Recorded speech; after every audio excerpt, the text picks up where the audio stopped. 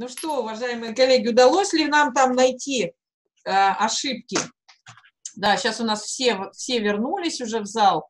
Э, и э, мы сейчас попробовали, да, э, э, поискать ошибки Э, в объявлениях, объявления поправили, уже фактически подготовили к работе. И вот сейчас э, про то, как работать с заявителями, которые по нашему объявлению придут, а, об этом мы сейчас э, поговорим с уже знакомой вам Эльвирой. Она, не включая камеру, уже сразу включила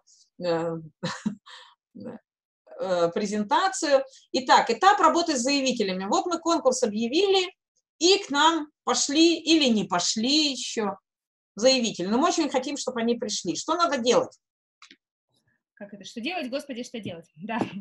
Итак, а, работа с заявителями. На самом деле мы сейчас будем добавлять новые а, такие штрихи к нашей картине про грантовый конкурс, который мы вместе с вами сейчас рисуем, такое эпическое полотно. Вот. И а, уже помня про логику грантового цикла, мы понимаем, где и в какой момент у нас возникает работа с заявителями. Да, как вот говорила Анна а, Лыгина из Сахалин Энерджи, что для них вот это самый, наверное, основных важных этапов работы с заявителями, потому что мы можем придумать все, что угодно, мы можем придумать самый лучший конкурс, но если к нам не придут те, кого мы ждем, то, а, ну, как бы тех необходимых изменений, которые мы закладывали в дизайн конкурса, мы не получим. Итак, работа с заявителями. Первый, ага, сейчас, вот, да. А первый вопрос, который у нас возникает, это вопрос, а, кто они, да, кто наши заявители, кого мы хотим увидеть в качестве участников нашего грантового конкурса. Да, и э, что значит, э, мы вспоминаем, на каком этапе грантового цикла мы определяем базовые параметры конкурса, и значит, что в самом начале, еще до того, как мы прописали документы, до того, как мы все публично объявили, нам очень четко важно понять, кого мы ждем на этот конкурс, да, кто это будут участники? Это а, некоммерческие организации, социально ориентированные НКО, или это НКО вообще, то есть среди них могут быть бюджетные? Это только организации, или мы добавляем инициативные группы и так далее? Понятно, что ответ на то, кто, эти, кто наши заявители, он происходит из а, ранее заданных вопросов, которые вам, наверное, уже а, завя- навязли в зубах, но я очень надеюсь, что они у вас будут там плотно сидеть при э, проведении любого грантового конкурса, это вопросы зачем и почему, да, чего мы хотим достичь своим грантовым конкурсом, и это определяет в том числе, э, кто будут наши заявители. А, определяем по тематике, по организационной форме, по опыту работы и так далее, и так далее. Здесь могут быть много разных параметров, очень сильно зависит от грантового конкурса. Если мы делаем такой грантовый конкурс, который поливает все, что растет, например, а, очень часто это конкурс там, фондов местных сообществ, да, цель которых а, ну, как бы взбодрить, создать такую движуху на территории, поддержать очень много инициатив, чтобы началась такая жизнь, и люди придумывали какие-то инициативы, тогда здесь у нас может, может быть как бы одна планка, да, и один фильтр настраиваемый на наших заявителей. Если мы проводим какой-то конкурс, в котором нам, допустим, там, не знаю, конкурс фонда Тимченко, а, сейчас я, там, семейный форматор, по-моему, называется, да, когда мы а, там у них есть цель а, отбора лучших практик уже с доказанной эффективностью, работающих с, профилакти а, с профилактикой сиротства. И тогда понятно, что у нас гораздо там более тонкая оптика будет на то, кто наши заявители, да, и гораздо более параметров, больше по этому, по как бы этому вопросу. Вот, это как раз, возвращаясь к вопросу, который задавала, если не ошибаюсь, Ольга в чате, да, очень хороший вопрос, что мы проводим грантовый конкурс, мы очень четко прописываем техническое задание, и к нам приходит более качественный проект, но, с другой стороны, вопрос, не отсекаем ли мы конкуренцию.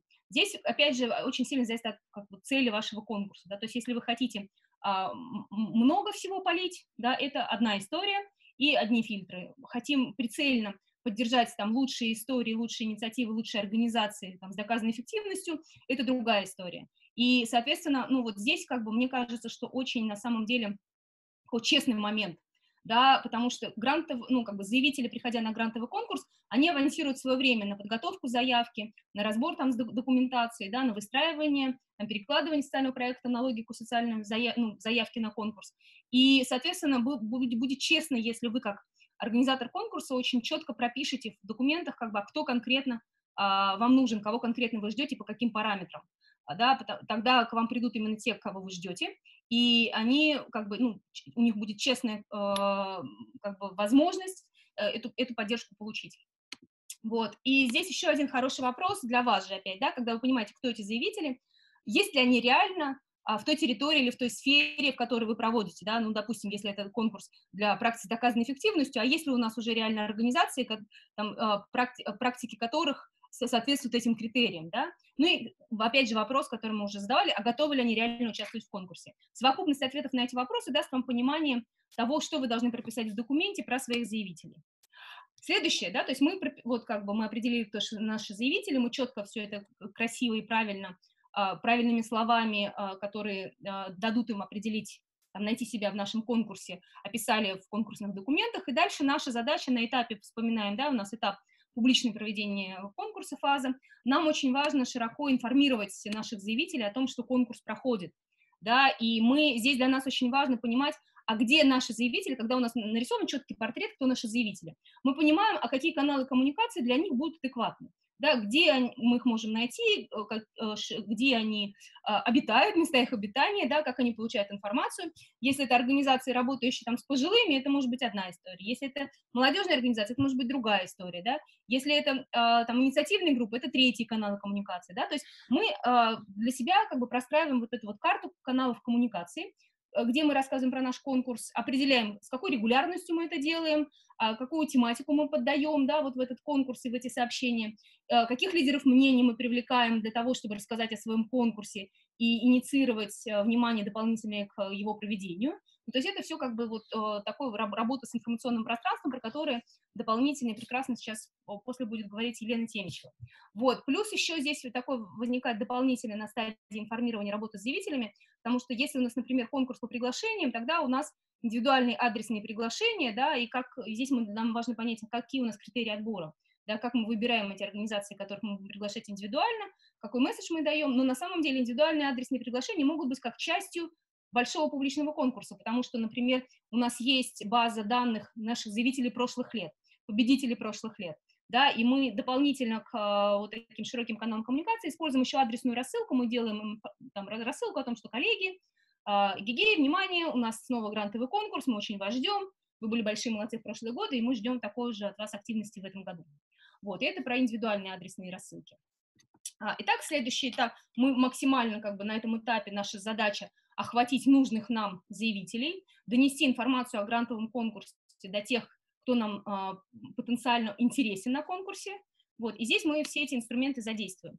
Следующий этап. Люди узнали про наш конкурс, и мы э, вот в рамках публичного проведения конкурса мы говорили, что там есть еще задачи, например, консультирования, обучение заявителей, да, то есть здесь э, про обучение мы сейчас чуть попозже поговорим, вот про консультирование, да, что здесь очень важно учитывать.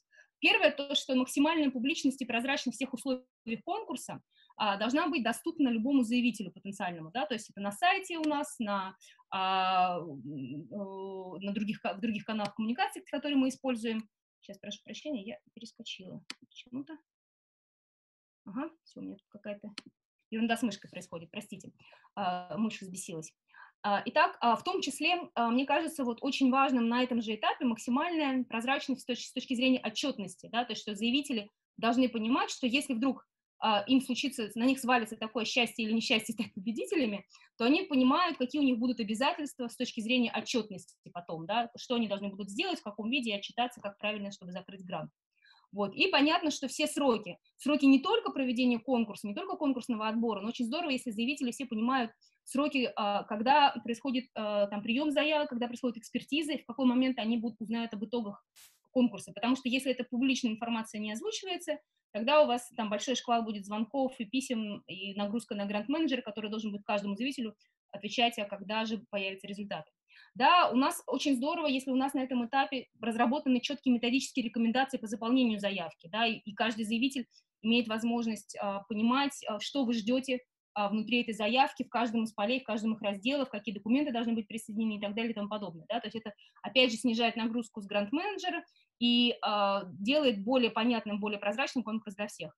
А, хорошая очень практика, которая появляется в разных конкурсах а, уже не первый год, это видеоинструкции да, по заполнению конкретных разделов заявки и подсказок вас как организатора, а что вы ждете в том или ином разделе. Раздел часто, задавай, часто задающиеся вопросы, да, это подготовленный качественный раздел, и здесь очень полезно как бы вам собирать те вопросы, которые поступают, в телефонных, письменных консультациях, понимать, какие из них являются типовыми, и готовить на них ответы и пополнять этот раздел. да, проведение очных телефонных письменных консультаций, возможность этих форматов, опять же, очень сильно зависит, если вы проводите конкурсы там на всю страну, это скорее телефонные письменные консультации. Если вы проводите конкурс на своей территории, то у вас большая дополнительная возможность проводить в том числе и очные консультации, может быть, заявлять какие-то отдельные очные консультации, может быть, заявлять, например, отдельно публичные слушания проектов, как, например, делается в конкурсе грантов мэра Москвы, да, когда потенциальные заявители могут прийти, рассказать про свою идею и получить а, обратно, обратную связь от других слушателей, от эксперта по поводу того, вот там, что может быть удачно, что неудачно, и как все это можно доработать до качественной заявки. Да, и, соответственно, тоже очень важным этапом вот на, на этом этапе, мне кажется, в работе с заявителями не забывать про обратную связь по процессу. То есть, например, если заявка поступила, а, приходит информация о том, что ваша заявка поступила, спасибо.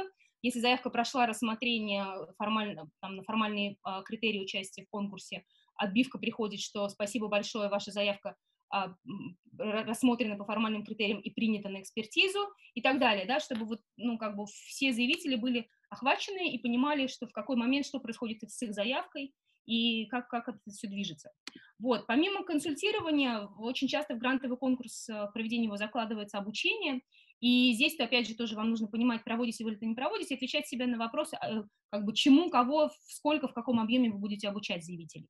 Ну, чаще всего понятно, что обучение, как бы это обучение социальному проектированию, да, и здесь очень многие грантодающие структуры идут по пути а, создания таких онлайн-курсов, да, как, например, большой прекрасный курс Фонда президентских грантов, который в любой момент заявители могут пройти и ну, как бы прокачать свой навык социальному проектированию, да, если сначала знания, а потом уже и навыки, а, потренировавшись в социальном проектировании. Вот, а чему еще обучают? Обучают подачам, а, особенностям подачи заявки на конкретный грант а как социальные проекты переложить на ту конкретную форму, которую разработали вы, подсветить те моменты в заявке, которые важны конкретно для вас, а, выделить э, как бы вот в этой логике, что, что необходимо, потому что понятно, что в каждом грантовом конкурсе там, заявка – это некоторое прокрустово ложе, в которое социальный проект укладывается, да, и в один грантовый конкурс социальный проект один может уложиться так, а в другой тот же самый социальный проект по-другому. И поэтому здесь заявителям очень важно знать о том, а как, как, как я вижу ваши требования да, в заявке. И понятно, что очень часто, там, и это правильно, проводится обучение подачи заявки на грант. Что еще хорошо и что еще работает во многих грантовых конкурсах, проводится обучение трендам в тематике конкурса, да, особенно если это какой-то не широкий полив, а какая-то вот более там специальное направление выделены, то очень здорово, что, что а, организаторы конкурса привлекают экспертов этой тематики и рассказывают некоммерческим организациям про то, а какие сейчас есть новинки, а какие сейчас есть социальные тренды, а какие есть новые технологии, которые появились и так далее, и так далее, да, потому что если мы хотим привнести чего-то нового, там, если вы выращивали всю жизнь картошку, то, ну, как бы вряд ли вы сможете вырастить авокадо, если вы не знаете, как его выращивать, да, и что вообще он там существует и как с ним нужно обходиться. Вот, поэтому здесь, конечно, очень важно вот э, таких дополнительных э, вбросы содержательные, они позволяют а, ну, повысить качество заявок э, в вашем конкурсе. Вот, и, соответственно, про, говоря про обучение, здесь еще, может быть, если мы говорим именно про заявителей, то а, если заявители не стали победителями, то может проводиться обучение работы над ошибками. Это очень частая практика, допустим, для бизнес-компаний, которые работают на территории.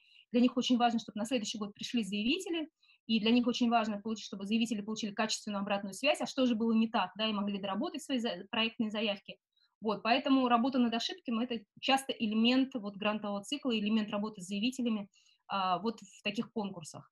Вот. И, соответственно, здесь же может уже там, если мы тему обучения чуть-чуть там шире рассматриваем, не только заявителями, то по большому счету внутри грантового цикла обучение может быть на каждом по большому счету этапе, там, где у нас есть работа с внешними людьми, с заявителями, с победителями, и, и с теми, кто вышел из грантового цикла, да, потому что на самом деле там разные задачи. Ну, допустим, как бы, когда там я э, работала с компанией «Газпромнефть» на грантовом конкурсе, э, да, то есть у нас а на самом деле мы старались в какой-то период давать обучение на каждом этапе. То есть для заявителей это было одно обучение, для победителей другое обучение, которое позволяло им более качественно реализовывать свои проекты. И для тех, кто вышел из грантового цикла, это третий какие-то еще блок информации, который позволял бы быть более устойчивым после того, как уже завершилась поддержка, да, то есть там семинары по фандрайзингу, по партнерству, построению и так далее и тому подобное, то есть то, что поможет уже выйдя из грантового цикла, сделать проект более устойчивым, более жизнеспособным. Вот, поэтому вы для себя это тоже как бы просматриваете и думаете, как бы, что из этого вам нужно, на каком этапе и чему вы собираетесь а, учить ваших заявителей. А, следующий момент. На этапе приема заявок, да, уже вот мы, там, идя по грантовому а, циклу, в том числе и работы с заявителями, когда мы принимаем заявки а, от заявителей, что здесь на самом деле мне кажется очень важным, и что важно дополнить, да, что а, хорошо бы, чтобы вашим заявителям потенциально приходили какие-то напоминания о процессе, о том, что грантовый, а, ну, вот, о каких-то дедлайнах, о каких-то требованиях. Если особенно вы проводите через онлайн-платформу, это очень удобно, там можно сделать какие-то настройки. Допустим, если люди зашли, завели а, кабинет рабочий, но при этом там а, что-то там произошло, какой-то, а там заявка не заполняется, то, может быть, им может прийти отбивка с напоминанием о том, что там столько-то дней осталось до подачи конкурса, мы видим, что вы а, там работаете, но пока не завершили, есть ли у вас какие-то вопросы и так далее и тому подобное, да. Ну, то есть здесь, опять же, очень большой вопрос о степени вовлеченности в этот процесс и того, как бы массово мы, да, всех опыляем, или же у нас есть вот как бы какое-то количество организаций, с которыми мы более такая бутиковая история, более кастомизированная работа с ними идет, да, когда мы там им напоминаем, можем что-то там дополнительно проконсультировать, уточнить, все ли у них в порядке, да, и это, опять же, очень зависит от дизайна нашего конкурса. Да, опять же, про проверку комплектности э, заявителей, да, то есть мы, получая заявку, мы проверяем, все ли в порядке, все соответствует формальным признакам, подключ... приложены ли все необходимые документы и так далее, да, то есть и здесь тоже очень важно давать э, четко вовремя там обратную связь заявителям и возможность их там дополнить эти документы. А, и, наконец, вот это вот то, что я уже тоже говорила чуть-чуть выше, да, что очень важно, давать обратную связь э, на всех этапах, да, при, подано, принято, рассматривается экспертами. Это, во-первых, такое как бы уважение к заявителям, да, что вы поддерживаете с ними связь, и вы там, их вопросы предваряете, и их беспокойство предваряете о том, что там происходит с заявкой, потому что, очевидно, а, они есть. Вот. А во-вторых, вы разгружаете грантового менеджера, потому что если вы как бы не, не встроили это в систему работы с заявителями, то эти вопросы, это не значит, что эти вопросы не будут возникать. Они будут возникать, просто будут требовать дополнительного вашего внимания. Вот, и что ну, такого вот на финале, вот если мы говорим именно про заявителей, да, что мне кажется еще важным, это то, что а, вот если вы сейчас вспомните, когда мы говорили про грантовый цикл а, и про подведение итогов, мы говорили о том, что для того, чтобы понимать, а как нам дальше развивать свой грантовый конкурс, нам очень важна обратная связь на разных этапах, обратная связь от наших заявителей. И э, не, не только заявителей, прошу прощения, от заявителей, от экспертов, от победителей, от там, партнеров, других заинтересованных сторон, от донора. То есть мы ее собираем по тем параметрам, которые для нас важны, и на основании этого принимаем решение, как мы дальше развиваемся. И вот мне кажется, что очень важно, а, ну, по крайней мере, если вы, правда, это планируете развивать, то было бы очень здорово, если бы вы запрашивали а, от ваших заявителей обратную связь а, по тем моментам, которые вот вам важны, по настраиваемым каким-то процессам, которые вы, правда, собираетесь перестраивать, да, для учета на новом этапе грантового цикла. Это можно делать очень просто, сразу там, с использованием таких инструментов, как Google Forms, SurveyMonkey или другие, то есть те инструменты, которые позволяют э, вам очень легко собрать обратную связь и в агрегированном виде ее увидеть. Да, что вы можете здесь спрашивать? Именно то, что вас, в принципе, по поводу чего вам хотелось бы получить обратную связь. Например, а, откуда они узнали о вашем конкурсе, да, и это даст вам понимание, какие каналы сработали, какие не сработали. А, значит, э, что было самое сложное на этапе подачи заявки? И можно здесь предложить какие-то варианты, да, там техническая история или разработать заявку, или что-то еще, проходили, не проходили обучение, если проходили, как оценивают, если не там а, проходили и как-то оценили, понимают ли что-то, что еще какой-то информации не хватило, получали ли консультации, в каком количестве, в каком формате, да, имея вот такую раскладку, особенно если у вас большой конкурс, вы сможете увидеть, там, во что вам имеет смысл дальше вкладывать усилия, вот, а что может быть сейчас, как бы, ну, там, вы, вы, это, вы, вы это вложили усилия, а это не так востребовано, да, например, там, не знаю, пользовались ли видеоинструкциями и так далее. То есть вот то, что вам, в принципе, важно, понимать э, то, что вы, во что вы вкладывали усилия в работе с заявителями, и, и хотелось бы понять, дает ли это результат тот, который нужно, насколько это оценивается а, заявителями эта работа, и чего им в этой работе не хватает. Вот, и такая подсказка, лайфхак, что лучше всего а, такую форму подготовить и спросить их в тот момент, когда они уже подали заявку а, и мотивированы да, на то, чтобы вот как бы взаимодействовать с вами, но еще не подведены результаты. Да, обычно вот в этот лак, в этот, вот этот промежуток мы проводим опрос, потому что если мы проведем его уже после того, как результаты известны, то вероятность того, что вы соберете обратную связь от заявителей, не ставших победителями, она становится, естественно, ниже.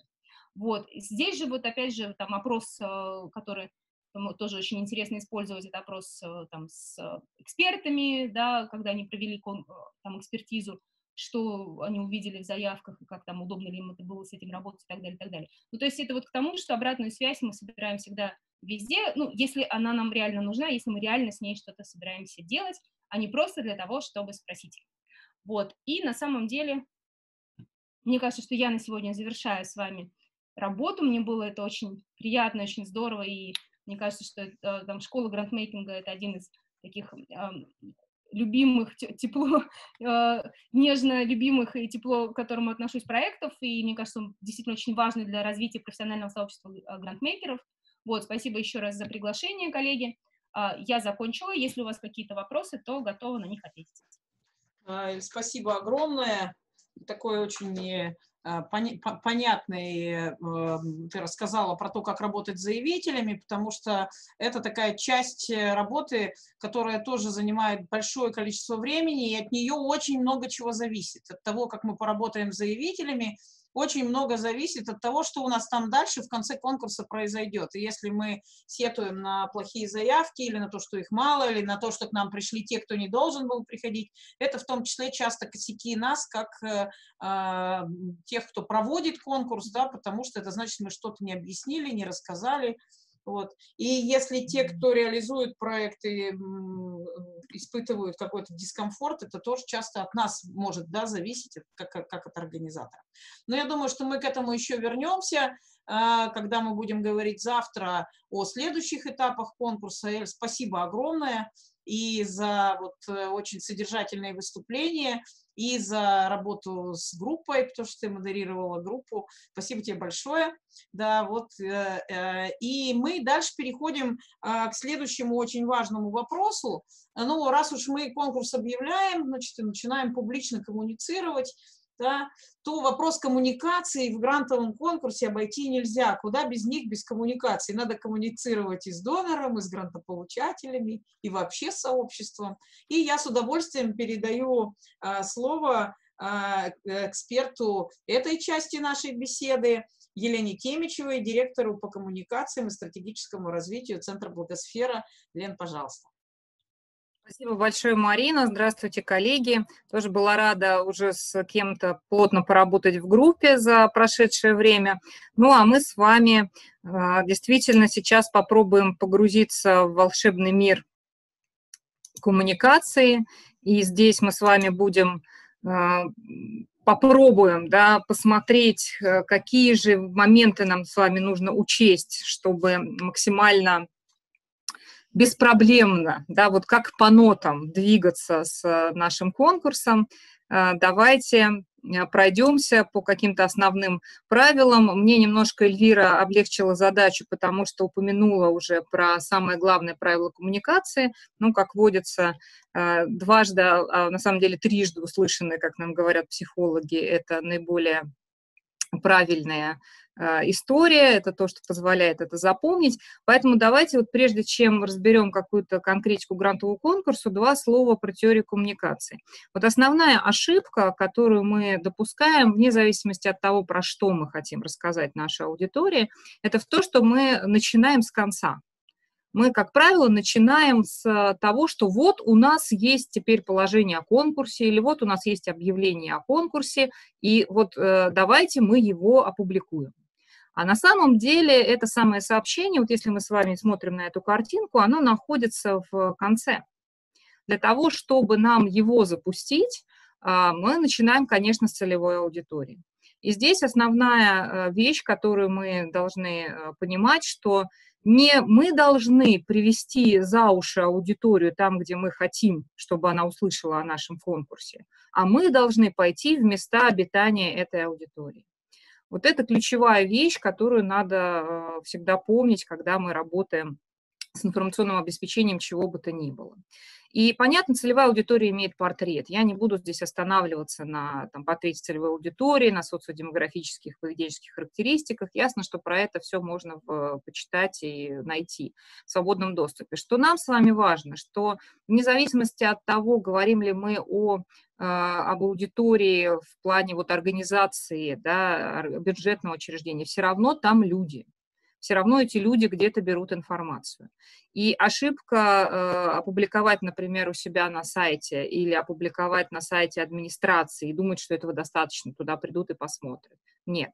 А, и то же самое большой вопрос к средствам массовой информации мы точно уверены, что вот эти небольшие группы соседских сообществ или молодежных инициатив смотрят наше самое главное и крутое городское СМИ, финансируемое администрацией. А, надо ли нам добиваться того, чтобы ровно там это прозвучало? Ну или надо просто с какими-то другими целями? Итак, мы изучаем информационные привычки аудитории и, исходя из этого, а, готовим решение. Например, вот, пожалуйста, конкурс для некоммерческих организаций и бюджетных учреждений в сфере культуры – куда мы прежде всего пойдем. Мы будем говорить, о, э, мы будем изучать, где общаются как профессиональные сообщества те люди, которые работают в такого рода организациях. Существуют ли какие-то специальные рассылки для них? А, есть ли какие-то профессиональные площадки, где они регулярно собираются и где будет э, возможным нам с вами встроиться со своим сообщением? Выступить на совещании, прийти на площадку какого-то фестиваля или договориться там развесить объявления в разных форматах. А, но главное, что это то место, где будет в совокупности ваша аудитория. А тематические информационные ресурсы про то, чем занимаются аудитории, поэтому, наверное, можно сделать предположение, что они э, эти ресурсы да, читают, эти ресурсы просматривают. А, поскольку у нас здесь с вами есть бюджетные учреждения, то да, органы власти, регулирующие деятельность в сфере культуры и их информационные ресурсы и каналы, вот здесь, наверное, будет уместен сайт местного Минкульта, да, например, или какое-то еще сопутствующего отделения, регулирующего деятельность этой организации.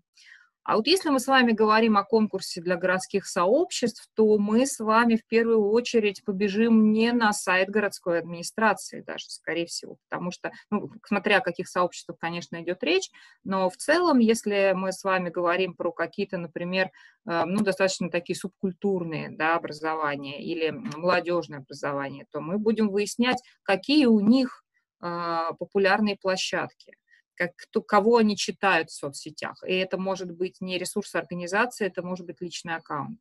Где они собираются? Можем ли мы туда прийти с этой информацией или договориться, что она там распространяется каким-либо образом?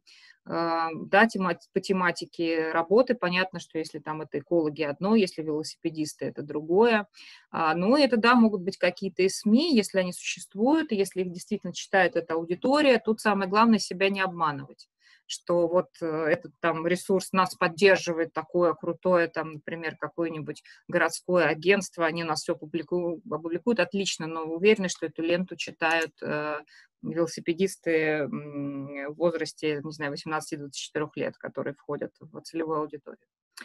А, и вот следующее, в чем нам с вами нужно разобраться, это в балансе своих собственных информационных ресурсов и ресурсов э, э, и тех каналов коммуникации других, которых мы здесь привлекаем. Да? То есть э, наш информационный ресурс – это тоже один из каналов коммуникации.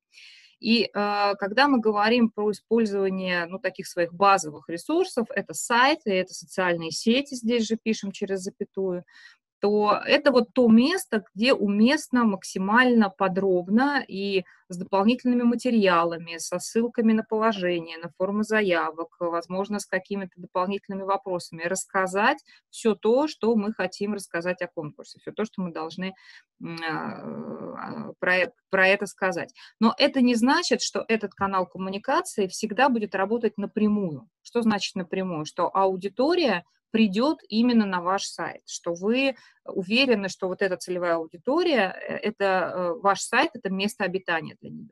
Если это так, если, например, вы ресурсный центр НКО, и НКО имеет привычку просматривать ваш сайт, это круто, значит, это совпало, и вы в данном случае имеете возможность э, так совместить полезное с приятным. А, но в большинстве э, случаев, когда мы с вами работаем и настраиваемся под разные целевые аудитории, сайт выступает парковкой. То есть там, где вы запарковали вот этот основной пакет материалов, и дальше в любых других каналах коммуникации вы используете ссылку на либо э, головное объявление, либо просто на сам сайт, либо на его раздел, который посвящен этому. Да? То есть вы просто приводите туда за подробностями, не строя иллюзий, что это ваш основной канал коммуникации, и будет достаточно рассказать э, на нем о вашем конкурсе. А, давайте немножко э, посмотрим вот, эту, вот этот, этот баланс не только по э, какому-то просто объему информации, не только по форматам, но и по а, ну, такой, что ли, необходимости да, разработки, такой, можно сказать, джентльменский такой набор информационный пакет у вас потом будет в дополнительных материалах участников обязательно набор э, документов. Там вы также увидите такую памятку Э, информационного пакета. Э, но тут важно сказать, вот что там внутри. Ну, вот если мы говорим, что у нас есть базовый текст объявления, что такое базовый текст? Это тот, который включает максимальное количество разъясняющих подробностей. Это не значит, что это то же самое, что положение о конкурсе, где мы с вами вот в, в пунктах коротенечко страниц на 6 все расписали. Нет, это все-таки объявление как самоцельный документ, который можно прочитать за один раз. Ну, там я бы рекомендовала, чтобы это было не более а, одной-двух страниц. А, лучше это, ну, если мы говорим про базовый текст, да, лучше одна. А, но здесь э, написано вот все то, что дает достаточную информацию про ваш конкурс. Обязательно, вот вспоминая наше упражнение в работы в группах, когда мы разбирали текст объявления, обязательно не пропустить, что, где, когда, почему, отразить приоритеты и так далее. Если мы с вами говорим о том, как это объявление, вот это базовый текст, будет отражаться на других ресурсах, конечно, оно будет видоизменяться. И вот здесь нужна очень такая, такая тонкая вещь, потому что, с одной стороны, нельзя дезориентировать, с одной стороны, нельзя убрать те минимальные подробности, которые нужны, э, где бы ни появилось это объявление. Ну, например, если не будет ясно, кто будет участвовать в конкурсе, из вашего сокращенного там текста с учетом формата СМИ или еще чего-то, то это неправильно, это вы, значит, неправильно информационно сработали. Но при этом там, например, может не содержаться большого количества другой дополнительной информации, которую вы можете расположить на своем сайте. Ответы на вопросы, варианты консультирования, а, какие-то дополнительные материалы для того, чтобы прописаться в теме, ссылки на предыдущие конкурсы, что угодно. Вот это все, это то, что базируется вот в этом большом а, материале в виде сквозных ссылок или отдельного текста. А, также вы на своих ресурсах, безусловно, используете свой ресурс социальных сетей. Сегодня это ну, один из базовых каналов э, коммуникации э, в нашем, в принципе, в нашем обществе, все об этом исследования говорят. И э, когда мы с вами говорим о, серии, о в, в соцсетях, во-первых, мы говорим о серии постов обязательно. А весь период э, объявления конкурса – это не только точка, когда вы прямо первый раз о нем рассказали. Это некое длительное время, в котором вы э, напоминаете об этом и даете, например, все больше и больше подробностей или публикуете какие-то ссылки на отдельные инструкции, опять же, переведя на, э, как на базу на ваш сайт. А, вы можете делать отдельным материалом ответы на самые популярные вопросы, располагать их там, а, можете делать из этого серию постов, опять же, можете делать, как э, говорила Эля, видеоинструкцию, но в любом случае это будет некий такой большой объем информации дополнительный. Если же мы с вами говорим про внешние ресурсы и про распространение там, то вот текст, например, для email рассылки, который вы формируете, да, впихнуть в письмо, вот то, что, а, например, я очень частенько встречаю. Так получилось, что просто по своему характеру работы я очень большое количество получаю почты, которые ко мне адресуются с различными объявлениями и запросами. И вот когда в тексте э, письма там просто полностью подробнейшее положение и так далее, ну это просто начнем с того, что неудобно читать да, в э, письме, мы с вами должны сократить вот до этого необходимого минимума. А вот если мы с вами говорим, например, о релизе, анонсе для средств массовой информации, это то же самое, что объявление или все-таки немножко другое? Вот здесь нужно вспомнить про правило пяти золотых э, вопросов к любому распространению информации, да, что, кто, где, когда, почему. И вот в, э, когда мы распространяем с вами через э, какой-то другой ресурс, во-первых, нам нужно понять, что этот канал, это канал релевантный для нашей аудитории целевой, что она туда придет, это и прочитает, и увидит. А, а во-вторых, мы тут с вами вспоминаем, что вот это самое «почему», вот здесь мы можем раскрасить и обосновать, исходя из э, направленности и стилистики СМИ, исходя из того, кому мы адресуем. Что значит разнообразить и направить? Вот туда могут добавляться не только сухие положения, не только сухие строчки положения, туда могут добавляться наши цитаты, туда могут добавляться какие-то мнения, туда могут добавляться даже дополнительные материалы, которые мы как сверстанные прибавляем да, к этому. Например, картинку-постер, который вы можете использовать как в соцсетях, как на сайте, но и как э, иллюстрацию для СМИ, да, чтобы, э, не знаю, к вашему объявлению о конкурсе про то, что вы хотите какое-нибудь там, не знаю, новое поколение активных горожан, а картиночку СМИ прилепят не знаю, такую не, не очень благополучную молодежь, сидящую и, и что-нибудь там потребляющую, судя по их выражению лиц, на скамеечке. Такое тоже случалось. Вот. А, попробуйте дать варианты да, этого, например, вот какую-то картинку. Э, объявление постер, э, если мы говорим про полиграфическую продукцию, очевидным образом не может и не будет содержать всех этих подробностей, но зато будет обязательно содержать ссылки в удобном для аудитории виде на вот эту самую базу, на вашу парковку. А, информации. Это не только могут быть ссылка на сайт. Помним, что да, в наглядных э, материалах мы с вами не пишем длинных ссылок. QR-код а, хорошо бы сгенерить э, и его использовать. Ну, в общем, там есть варианты, это тоже в каждом случае зависит, но главное, что вот мы себе это представляем и а, помним. А, еще один вид э, объявления, да, такого информирования, это провести специальные события. И вот когда говорят специальные события и конкурс, немедленно ответ это, конечно, пресс-конференция, ну что же это еще может быть, да, объявление о конкурсе. Это э, совершенно не так, это не обязательно пресс-конференция. Более того, поскольку мы с вами э, уже научены 20 раз посмотрим, а нужно ли правда нам стучаться в большое средство массовой информации и правда ли, что там наша целевая аудитория это прочтет, или мы сами себя так успокаиваем, или это для имиджа, вообще нужна ли она, да, но если нужна, хорошо, такое тоже бывает, если это особенно маленькая территория, ограниченное количество информационных ресурсов, все напишут, точно все где-то прочтут, важные вам люди. А, но все-таки давайте посмотрим шире. И когда мы говорим про конкурс, про специальное событие, вообще чаще всего речь идет о презентации. А вот в каком виде презентации, это вот уже на ваш вкус, на вашу фантазию, на ваш креатив, а плюс, естественно, понимание, опять же, где вводится ваша целевая аудитория. Вы можете прийти в тот же городской коворкинг, это говорится, что там специальный ивент делаете. Вы можете сделать онлайн объявление конкурса, зная, что все ваши визави, например, с каких-нибудь там бюджетных учреждений э, в определенной тематике, вот смогут это послушать и посмотреть. А, вы можете сделать продлящийся некий онлайн-эфир, в котором будете отвечать на вопросы об этом конкурсе. В общем, здесь все, э, э, нет каких-то ограничений, здесь все определяете вы сами и, конечно, рассматриваете релевантность такого события. Ну и здесь очень важно помнить, что у вас есть союзники для того, чтобы эту информацию доносить, что вы не одни, вы не одни должны плясать на этой арене и бесконечно убеждать, что и завлекать, подавать заявки. А, во-первых, это те, кто уже э, либо уже получил да, э, как когда-то от вас грант, если вы не первый раз проводите. И тут прямо прекрасно попросить их про это рассказать, про, про свой опыт, почему они приняли участие. Это в формате или событий, или это будет цитаты в релизе, это уже варианты, да.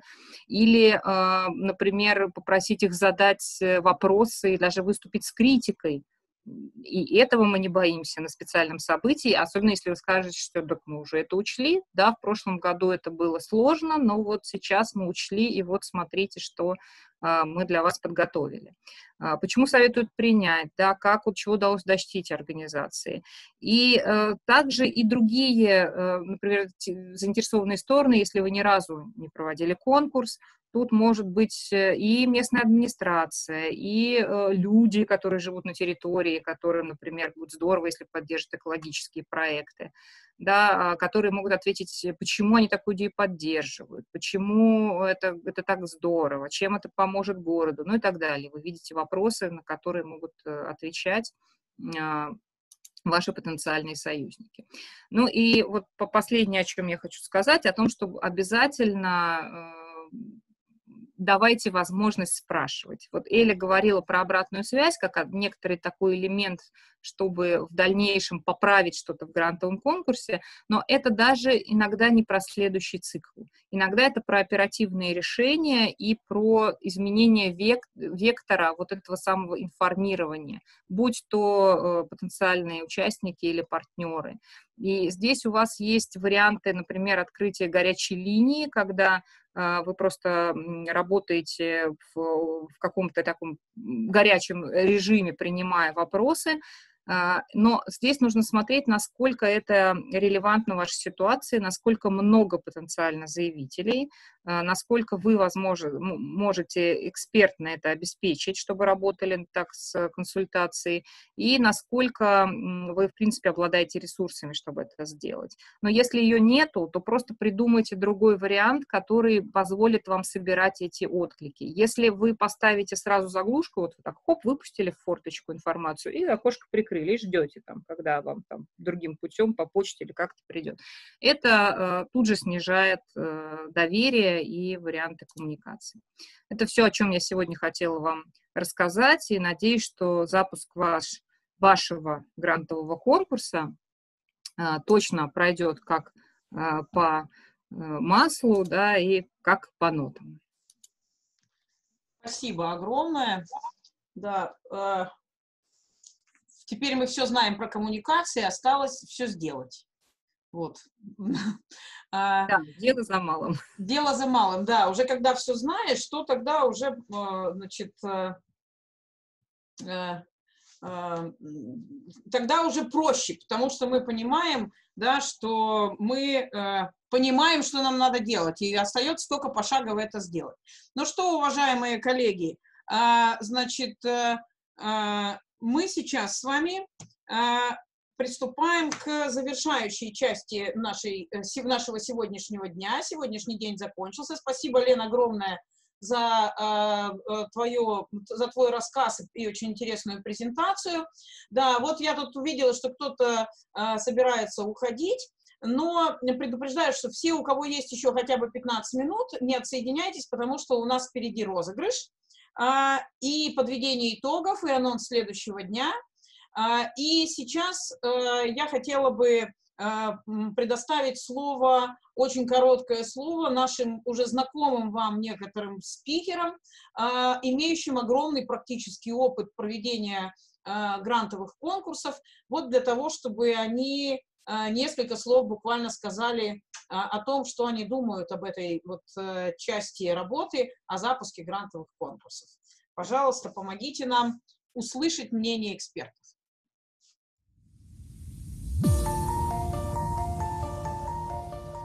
Самый надежный способ, конечно, это когда конкурс уже работает какое-то время, и участники конкурса приводят новых.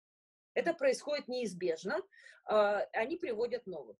И вот это вот тогда получается, что информация распространяется как бы сама, потому что ты уже попал в целевую аудиторию, и она сама как бы воспроизводит Э, эту информацию. Надо идти от потребности самой аудитории, то есть надо в первую очередь узнать, где находится твоя аудитория. То есть не те инструменты, которые ты можешь использовать, а какие инструменты воспринимает аудитория, потому что они могут очень сильно различаться, и тогда в конкурсе будут комбинироваться разные инструменты. Важно выделить, вот, э, вот найти, где этот канал, чтобы достучаться. А, Потому что э, вариант, чтобы про конкурсы говорили с экранов телевизоров, там, Первый канал и про все рассказывать, он, конечно, наверное, приятен, но это, как мы все любим сравнивать, да, когда что-то идет не так, как микроскопом гвозди забивать. Консультации. Вот, вот это, наверное, самое важное, это индивидуальные консультации, именно особенно для новичков на момент э, разработки проектов. Потому что, э, несмотря на ну, довольно большие усилия по подготовке. Это и книжки специальные, и рекомендации, и презентации, которые доступны на сайте. Но а, до сих пор остается вот, э, ну, какой-то лэг, какой-то недостаток и в проектных идеях, и в преподнесении заявки. Для того, чтобы на территории деятельности компании возникали новые а, сюжеты, либо новые технологии, мы ежегодно проводим а, форум социальных технологий, на который как раз а, выбираем определенную тему года, привозим внешних экспертов и показываем, как можно. И для нас это способ а, вдохновить и мотивировать а, наши организации думать в этом направлении. Самое сложное, наверное, э, за работе с заявителями то, чтобы не звать в конкурс любого. То есть, чтобы, когда ты с ними работаешь, ты работал со своим заявителем и сразу говорил, если этот конкурс не для них чтобы быть с ними честными. Потому что э, набирать большое количество заявок только ради того, чтобы это выглядело красиво, это неправильно. Тогда будет и большое разочарование. Самое сложное в работе с заявителем, с любыми, будь то муниципальное учреждение или же некоммерческая организация, это переломить застоявшийся, устоявшийся у многих подход о том, что мы купим, и все наладится. Вот это вот э, мечта всех, наверное, тех, кто ведет грантовые программы, всех грант-операторов, когда, вот приходя к нам, начнут именно с конечной цели, то есть с результата, что, что конкретно мы хотим изменить, с кем мы будем работать, как мы будем работать, а потом уже, что нам для этого нужно. А вторая история, э, которая скорее э, в нее пытаться могут втягивать сами заявители, а вы скажите, как надо. Ну, как надо написать заявку, каким должен быть мой проект, не проект вообще, а мой проект, чтобы получить эту поддержку.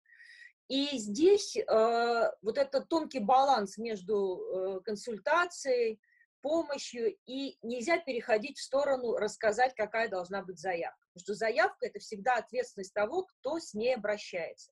Это не ответственность тех, кто им помогал писать. Это не ответственность тем, тем, кто оценивал эти заявки, да, давал рекомендации. Это всегда ответственность того, кто ее пишет.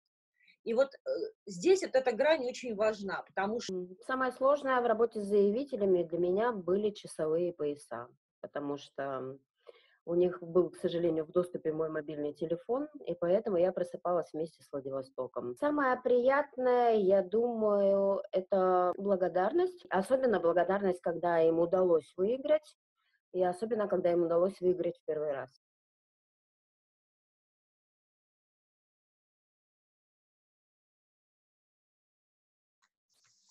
Ну вот, э, спасибо нашим э, экспертам, которые сегодня не присутствовали здесь вместе с нами на, на семинаре, но э, постарались вот рассказать свое видение и понимание того, как э, устроено, да, устроен запуск конкурса и работа с заявителями коммуникаций.